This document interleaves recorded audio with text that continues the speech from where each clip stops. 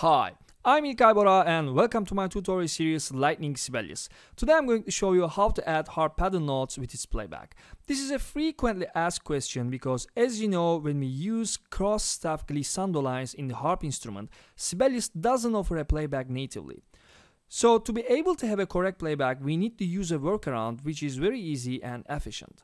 Okay, let's see first the visual result while we hear its playback, then I will explain you how to have it in 20 seconds.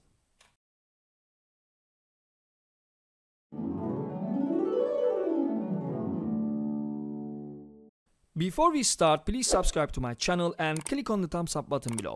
If you like my tutorials and if you want to support my channel, you can also donate it via PayPal link in the description. Okay, to do so, we need to use three third-party plugins. 1. Harp and Octave Notes plugin. 2. Line Between Notes plugin.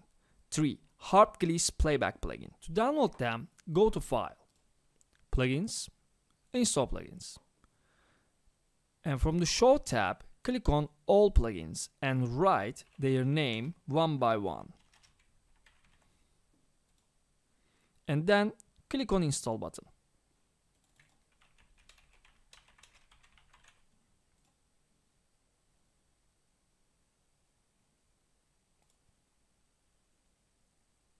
Okay, I presume that you have already installed the plugins and we are ready to go. I choose the destination notes and I run my Harp Gliss and Octave Notes plugin. You can use the command search to run it by typing its name.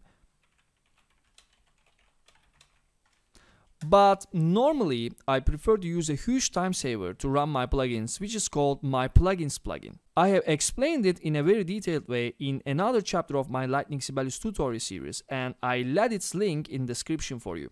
So I very suggest you to watch it because it will definitely boost your workflow speed in a huge amount. When you first run the plugin, I suggest you to choose stemless option from the list and be sure that these two checkboxes are activated. Now the plugin will add the harp pedal notes and it will call the line between notes plugin.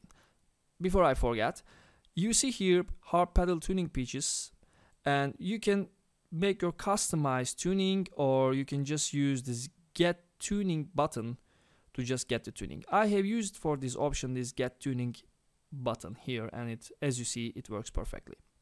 Okay, let's click on OK.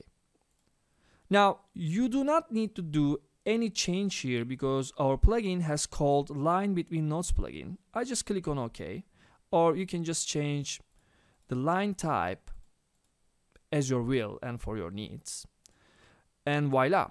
As you see, my plugin has added harp pedal notes and the line and its playback. You can still continue with the same method to complete this passage. Filter the destination notes and run harp gliss and octave notes plugin, but this time choose do not create octave notes. This option will not add any harp pedal notes because we have already added them and after I'm clicking OK, the plugin will call again line between notes plugin. And I'm going to choose my line again. I'm going to use this time again, just normal line. And I'm clicking on OK. I'm fixing my line. One very important thing. After plugin will be run, you will see a cloud of hidden text items. Let me bring them for you. These are hidden messages which basically are our playback. So do not delete these and just hide them by going to the view tab and unchecking hidden objects option here. Now we have these very clear to understand harp pedal notes while we have also its glissando playback. Thank you for watching the video. If you like my tutorial series, please subscribe to my channel and click on the thumbs up button below. If you want to support my channel, you can donate it via PayPal link in description. See you soon in another mind-blowing Lightning Sibelius chapter.